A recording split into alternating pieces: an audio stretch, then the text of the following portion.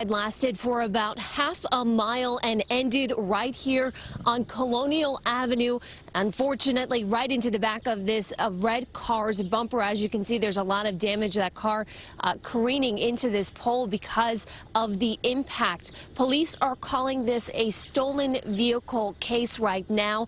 The street sweeper has the name uh, Litter Patrol on the side of it. That's a company based in Oakland, New Jersey, and we spoke to the owner of the company who was at the repair shop early this morning. He says his employee was cleaning a nearby shopping center parking lot. The employee got out to change a garbage bag, and that's when someone hopped into the driver's seat and took off with the street sweeper, again, making it about a half mile away down residential neighborhoods and crashing into about five vehicles, sideswiping them. According to police scanner transmissions, whoever was behind the wheel of this street sweeper caused caused a lot of damage.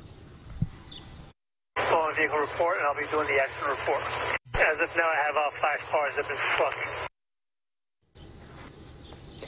Now back here live, this is the most severe damage that we can see from this path of destruction. And of course, as Cindy mentioned, quite a joyride this morning. Police believe that whoever was behind the wheel of this street sweeper crashed in and stopped right here and then took off running. And there have been no arrests made in this case at this hour. Well, live in Paterson, New Jersey, Magdalena Doris, CBS 2 News.